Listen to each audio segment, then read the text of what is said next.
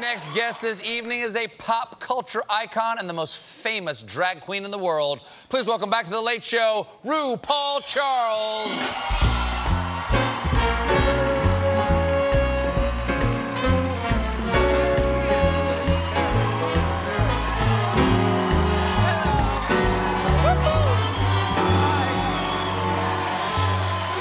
Yes, you give me the European, the I European gave you the kiss. European double kiss. Yes. Because when I have when I have guests who are that I know from Europe, Yeah. I know to do the double kiss, and I know you from Europe. I know now. you from Europe now. I yes, know, and I'll explain right. why. Because uh, you and I were both uh, at. I interviewed the First Lady Michelle Obama Yes. over at the O2 Arena in London, 15,000 people. In. England. In England. England. In Angleterre. Yes. And guess who I'm hanging with backstage?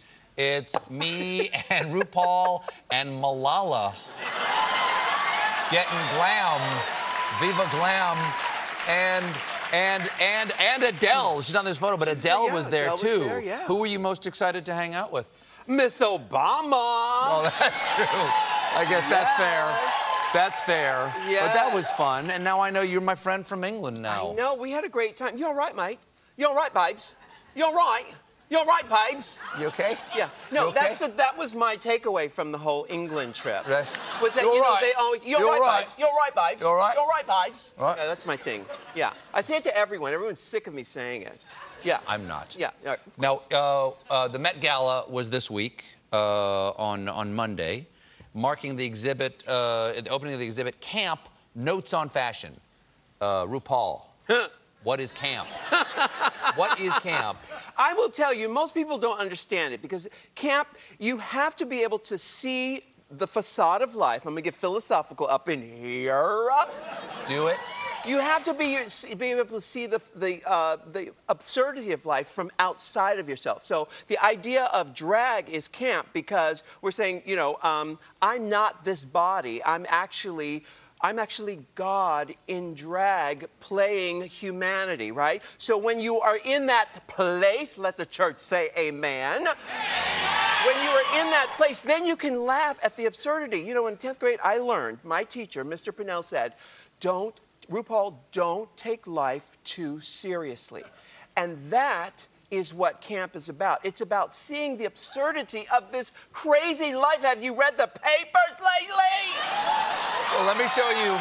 It's camp. Let me show you some really some really lovely outfits, and you you tell me whether these things are camp, because there's been a fair amount of critique of even these beautiful outfits I'm about to show you Yeah. ab- about whether they actually are camp. Yeah.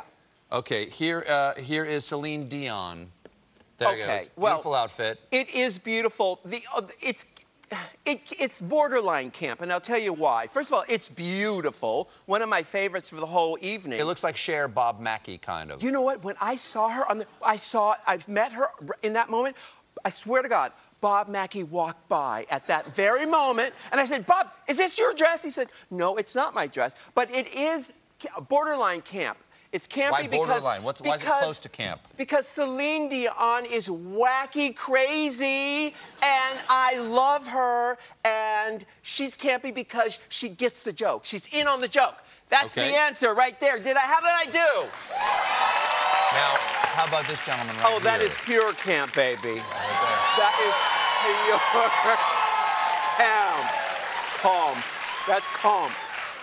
What went into what went into this outfit? Is that is that sequins? Is that beading? It's sequins, it's zebra. Zaldy, who's done my outfits for the past 25 mm-hmm. years, did this outfit. He didn't want to go in drag because I thought I thought it was going to be a sea of drag queens. I really did. And so I thought every, all the guys were going to be dressed up like Divine, but not one Divine from the John Waters films. Sure. Not one person was dressed up as Divine. Wow. Yeah, I don't. People don't really understand camp. It's it's uh, it's abstract to most people. Now, you know. what's this on your shoulder here? That looks like a. Is that a sequined right here? It's a sequined zebra. Really? Yes. I was gonna ask you it was a flip flop. No, it's a. Yeah. Oh, I see. Yeah, sure, it is. A Yeah, it's a zebra. Okay. And it was it was fun, and we had a good time. And actually, I DJ'd uh, at the end of the evening. Oh, nice. Yeah, I'm a, I'm a very good DJ.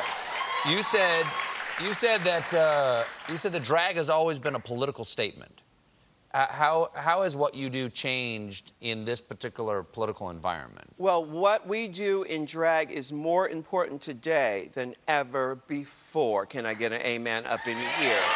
It is. Why? Why?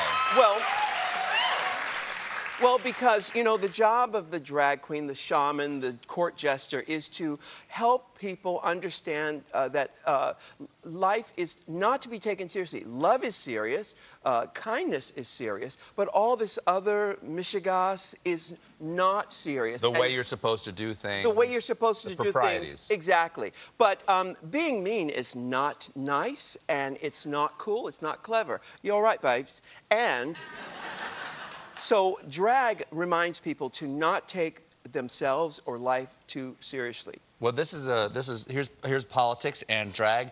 This is Kirsten Gillibrand backstage at a uh, a, a drag club Uh-huh. in Iowa. Yay! Can you imagine even 10 years ago this being a photograph a politician would would want to have out there? No, I, I can't imagine that happening. This is this is really good. I'm going to tell you say this. You know, gay people pay taxes, drag queens pay taxes. I want a politician who's going to come to my drag club if I'm paying their salary. You know? Sure. Sure.